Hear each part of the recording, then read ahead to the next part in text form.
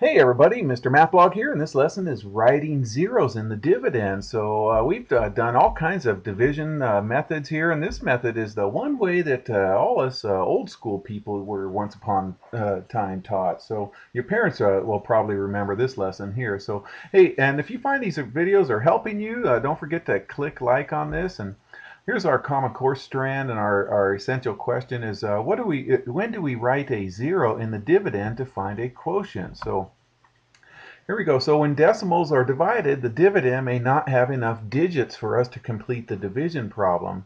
So in cases like this, we can write zeros to the right of the last digit. So for example here, 87.9 is equivalent to 87 point, uh, uh, I'm sorry, 89.7 is equivalent to 89.70 or 89.700. It just depends on, on how many zeros you're going to need to complete your division problem. So before we always wrote it as a remainder or, or wrote our answer as a mixed uh, fraction. So we'll talk about all of that here. So let's try a problem here. Brett rode his bike uh, for 45.8 miles in four hours. Find his speed in miles per hour by dividing the distance by the time. Okay, so we're going to divide uh, 45.8 divided by 4. Well, let's estimate this, you guys. Um, 45.8 divided by 4 is, is going to be close to 44 divided by 4. And 44 divided by 4, that's a nice, easy, uh, friendly uh, division that we can do. That's going to give us 11 right here. So we're going to get an answer that's going to be close to 11. Okay, so let's go ahead and uh, write the decimal point in the quotient above the decimal point in the dividend. Okay, so here's the dividend right here. It's what we're dividing into right here. So let's write the decimal point right up here. Our quotient is going to be our answer. So the decimal point is going to go right up there. I don't know if you can see that right there. There it is, real small little decimal point right there. Okay, and then what we're going to do is we're going to divide the tens, the ones, and the tenths in here. So we're going to divide into this 10 and then into this 1 right here. And remember, this is 8 is in the is in the tenths spot. So this actually is read 45 and 8 tenths right there, okay?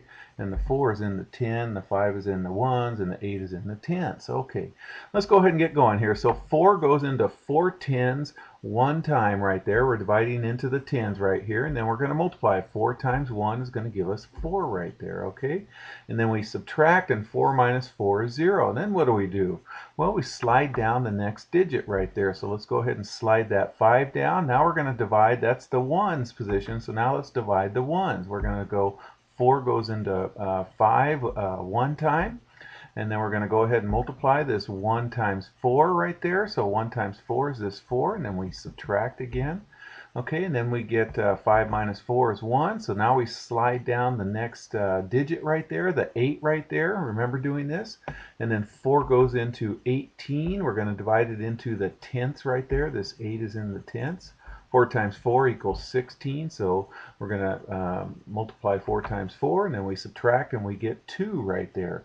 Okay, now, there's no other digits right here, so what we're going to do is go back to what we said in the beginning of the lesson. Remember, 89.7 is equivalent to 89.70. So we're going to go ahead and tag a 0 right there. So write a zero in the dividend and can just continue dividing. Okay, so there's the zero. We're going to slide that down. This is uh, what your parents learned probably. This is how I was taught this method right here. Okay, and now we just continue dividing. So 20 uh, divided by 4 is going to give us 5 right there. So 5 times 4 is 20.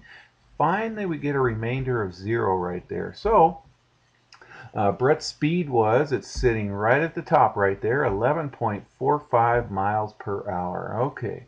All right, Brett goes a lot faster than that. I know that. Um, okay, so uh, when we divide whole numbers, we can show the amount uh, that is left over by writing uh, with a remainder or writing it as a fraction. I'll show you in just a bit here uh, what I'm talking about, about writing with a remainder, our answer, or writing it as a fraction. And by, uh, by writing zeros in the dividend, like we just did, uh, we can also show the amount as a decimal. Okay, so here's another example right here. So let's go ahead and divide. We're going to write zeros in dividend right here.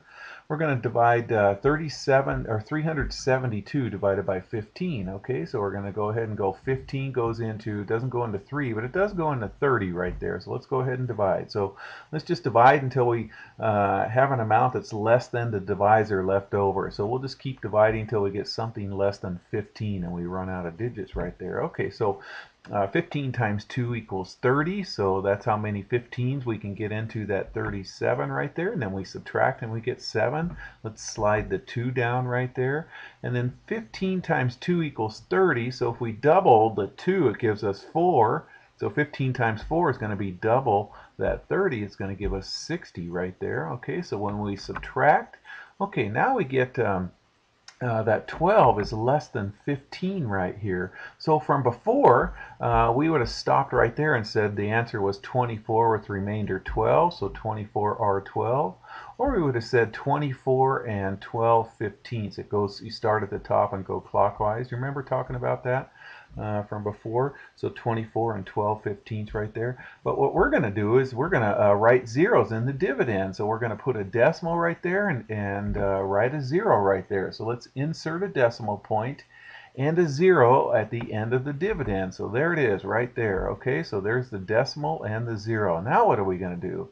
Well, we're going to slide that decimal right up on top right there. So place a decimal point in the quotient above the decimal that's in the dividend that we just did. So there it is. And let's just continue dividing. Okay, so let's slide that zero down and then, okay, now check this out, you guys. 15 times 4 gave us this 60. Well, if we double 60, that gets us 120. So if we double 4, that's going to get us 8. 15 times 8 is 120. All right, so then we subtract and we finally get a remainder of 0 right there. Okay, so 372 divided by 15 is going to get us 24.8. All right, you guys. Hey, uh, don't forget all your lessons can be found at mrmathblog.com. Hope you're having a great year. Take care.